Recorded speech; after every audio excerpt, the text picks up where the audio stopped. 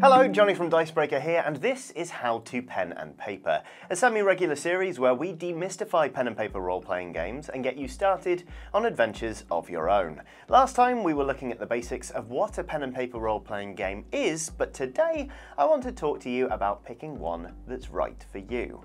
So hopefully if you're watching this video, you're interested in either running or playing in a pen and paper role-playing game. You might have even lined up some friends to join you, although if you've not assembled a group of players yet, don't worry. Now, I won't lie to you, picking a pen and paper role-playing game can be a bit of a messy affair. One of the brilliant things about this hobby is you've got absolutely loads of different games to choose from, but of course, that makes picking just one a bit of a chore. There are lots of factors to consider when making your choice too. There's complexity. Is this game easy to pick up? Is it deep enough to keep you interested? Is it convoluted enough to put some people off entirely? Then there's the substance. Does this game allow for the sort of adventures you want to have straight away, or are you going to have to tweak the rules and the setting to get what you want from it? Is it a self-contained game taking place in a single location, or is it a big, sweeping epic that will take you to strange new worlds? What about the tone? Is it deadly serious? Is it scary? Is it intentionally farcical? Or is it somewhere in between?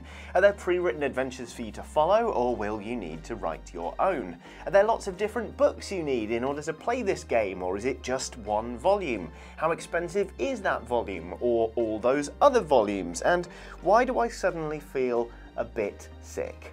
In other words, it's easy to get a bit lost or make a decision you later end up regretting because the game doesn't match up with your expectations. So, what's the best way to get started in trying to find the right game?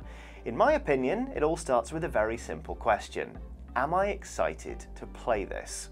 Simply put, if you can find a game you and your fellow players are excited about, you're already most of the way there.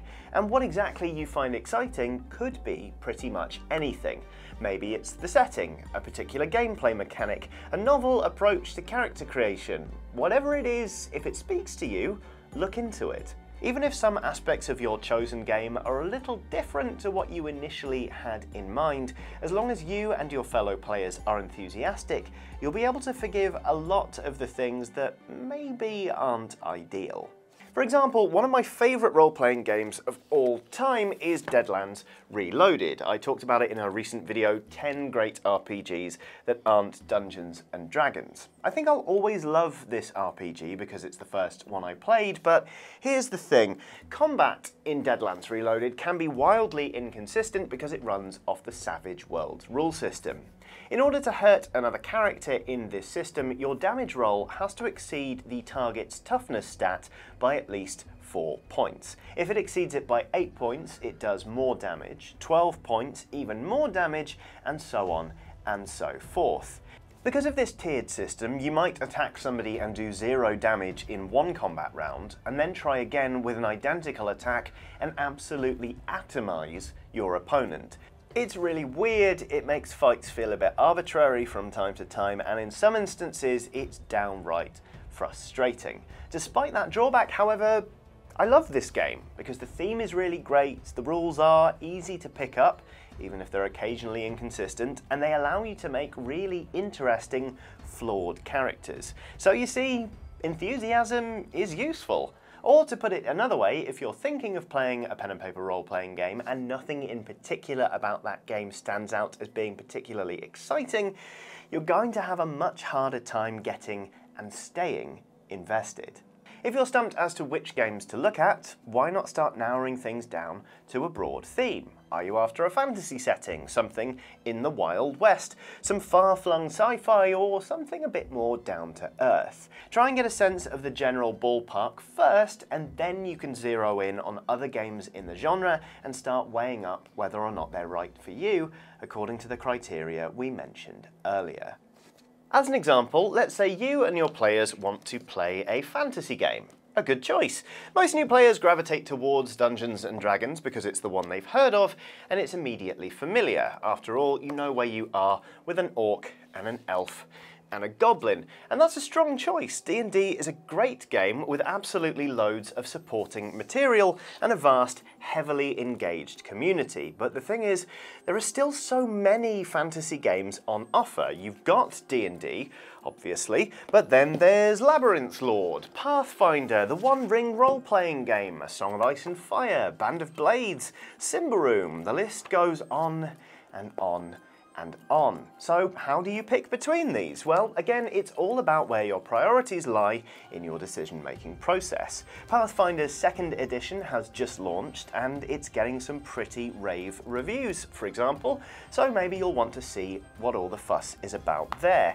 Labyrinth Lord plays like D&D used to and maybe that old school vibe really appeals. I mean, you only need to look the pages inside to be transported back to the late 70s. A Song of Ice and Fire has that fantastic house building mechanic I've spoken about before, allowing you to add an entirely new faction to Westeros and vie for power in the reign of Robert Baratheon. But then maybe the admin of raising armies and making sure you've got to feed them sounds like a bit of a chore.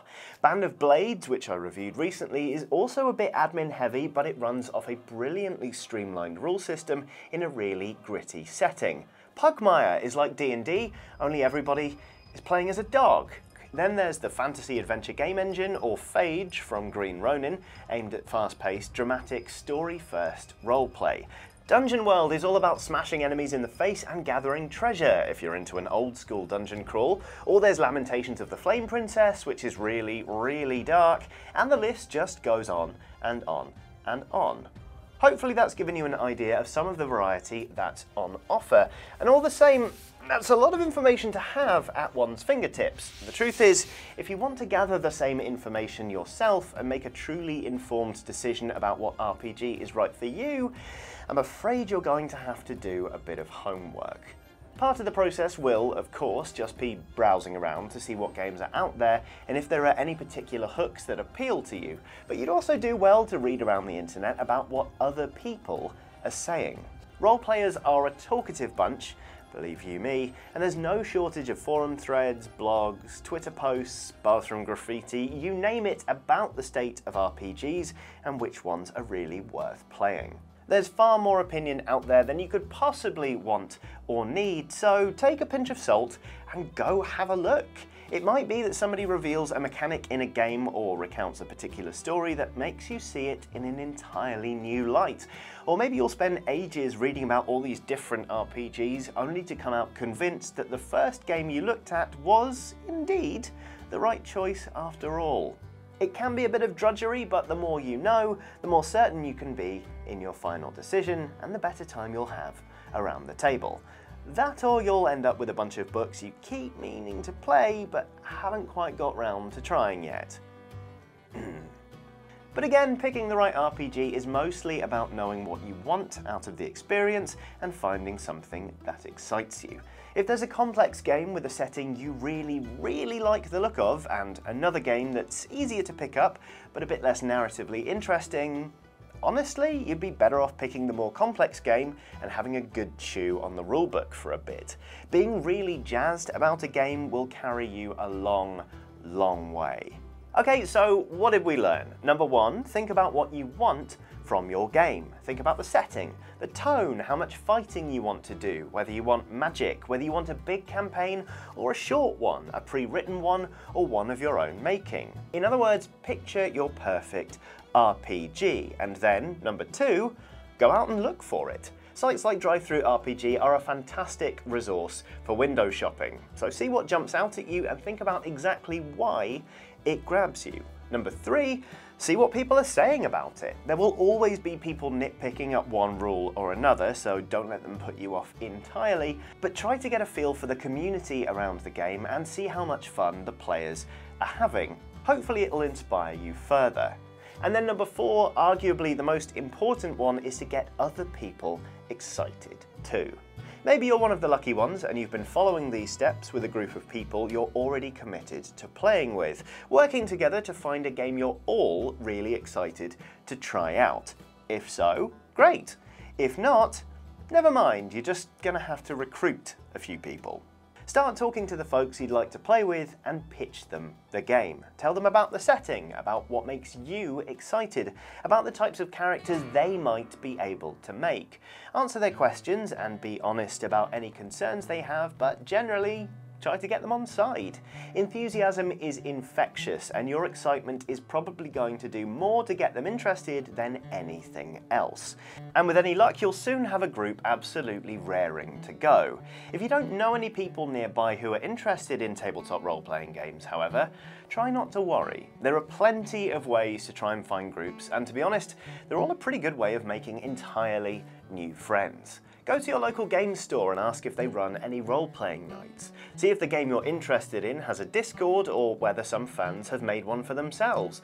Visit those Discords. Say you're looking to find a group to play with, either online or in person, in a safe environment. Obviously take care of yourself on the internet. Roll20 is also a fantastic resource where people are almost always looking for others to share the hobby with. And if there are any gaming conventions in your area, see if they have RPG sign-ups. It can be really daunting, don't get me wrong. I played The Witcher RPG for four hours at PAX Unplugged in 2018 and apart from the GM, everybody around the table was a complete stranger. I was really nervous at first, to be honest, but I walked away having met some people I genuinely consider to be friends. So scary as it seems, it might just be the best decision you ever made. And I honestly believe that, because pen and paper role-playing games genuinely changed my life. Anyway, let's wrap this up before I get entirely too mushy on you. That was a quick look at how to choose a pen and paper role-playing game. Next time we're going to be looking at how to establish tone in a game, both as a player and as a GM, so do keep your eyes on the channel for that video. Hopefully you enjoyed this one. If you have any tips for really good games people might like to try and maybe they've overlooked, or any other advice for how to pick a game that's right for you, please add your thoughts in the comments below. If you're still hungry for more, there are loads more videos from Dicebreaker for you to watch. A couple of them should be on the bottom of the screen right now, so do give one of those a click. Do like, subscribe, and ring the bell icon so you don't miss anything else from Dicebreaker, but most importantly, thank you very much for watching, and have a lovely day.